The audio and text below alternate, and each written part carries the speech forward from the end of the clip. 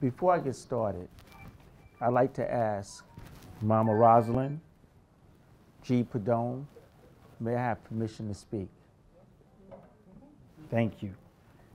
That's the African way. That's our tradition. That is our culture. We honor the elders amongst us. And in the organization that I represent, Black Influencers United, we say, be you, if we take the first letter of each word. That's what black history is about. It's about being you. We have an elder, and that's our practice, and I want to represent that today during Black History Month. And then before I start, I want to ask God to guide my mind, to direct my speech, and take me where He wants me to be. Because this is important. I want to thank your president, Dr. Eanes, your provost, who's here today, Dr. Brazil. I want to thank your vice president, Dr. Williams, and to me, most importantly, I want to thank your student government president, Ariana.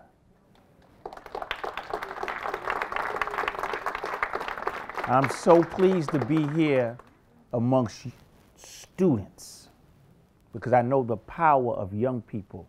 And if we're talking about transformational change, it is young people's time.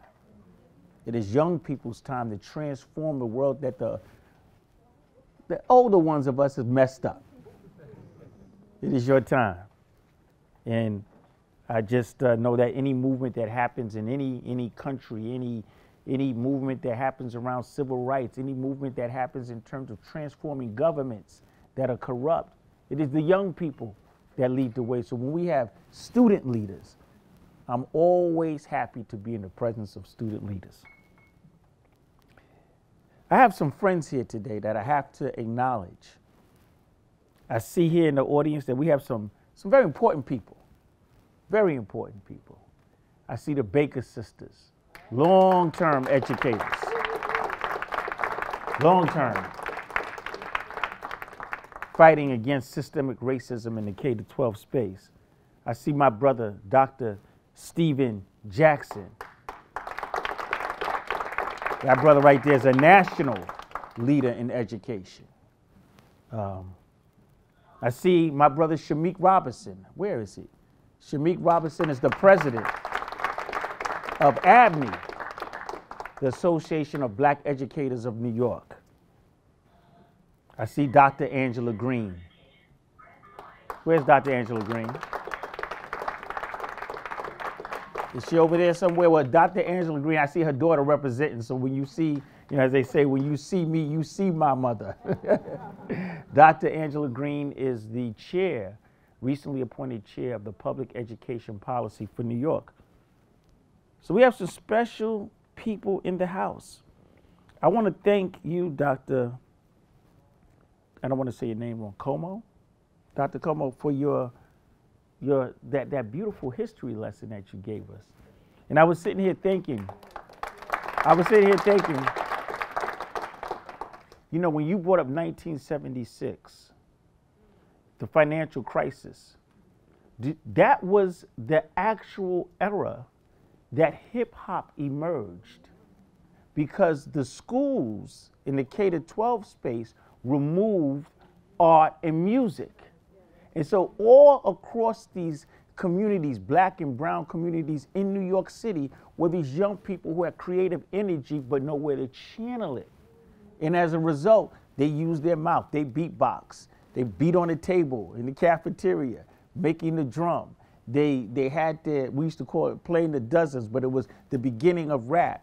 They had their sound, their sound big uh, booming systems where they would build these speakers for my brothers and sisters who came from Jamaica and brought that culture to New York. And then there was a DJ by the name of Kool Herc, who was the father of hip hop. So there you see a connection between blacks migrating from the South into New York City and our immigrant community coming from places like Jamaica, Haiti, Barbados, and all these places merging to develop this culture, which began, which is the which is part of the beginning of hip hop. But it would not have happened had not the music and the arts been taken out of the school. So how ironic that I would become the hip hop principal and reconnect the school back to the culture. So just wanted to say that. So we're speaking about the, the 55th anniversary of York College. And as it was said, my father, Dr. Blake, the big Dr. Blake, he reminds me of that all the time, was uh, involved in that fight to bring a quality educational institution to the community of Southeast Queens. Um, I thank him for being here today. Please. Y'all don't know how excited I'm about being here today. I've been wanting to talk to the scholars for a long time. We have also here today my organization, members from my organization, who I really am. When people say, he's the leader of BU, I say, no, I am the representative of the leaders of BU. And BU stands for Black Influencers United. I have to give them a shout out. With the members of Black Influencers United, please stand.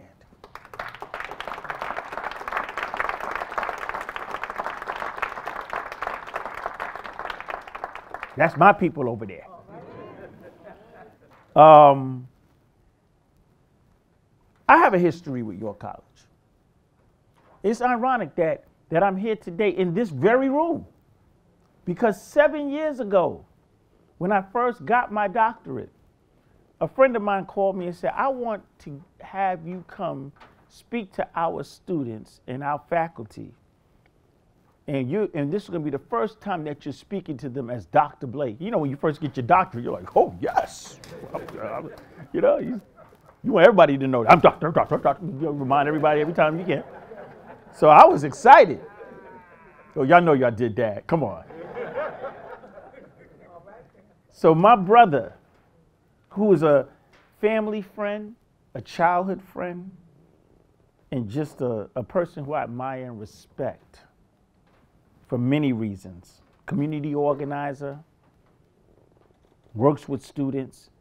My brother, Dr. Anthony Andrews, invited me here seven years ago to speak at a Black History event hosted by the Black History Month Committee here at York College.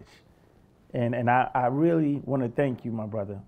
So now that I think that I got all the thank yous and acknowledgments and everything out of the way, I want to uh, talk to you today about some things that have been weighing heavy on my heart that I think it's important for us as a community to consider.